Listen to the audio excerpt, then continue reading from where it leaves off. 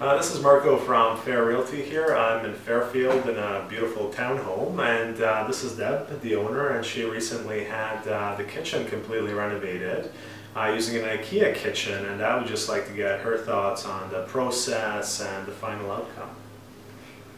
Well, uh, it started with the I- IKEA kitchen designer came to our house and drew up plans and um, her company went over to IKEA and picked everything up and installed it for us. And um, the company that did it was uh, very, very courteous and hardworking and we're really, really pleased with the results. We've never had such a nice kitchen.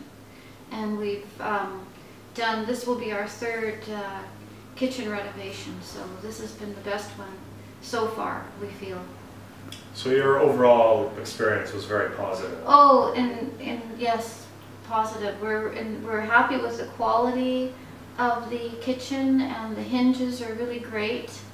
Um, yeah, we love our uh, IKEA farmhouse sink. Um, we just, we have the appliances and we're, we're really liking the appliances. As well, and the appliances are from IKEA as well. Yes.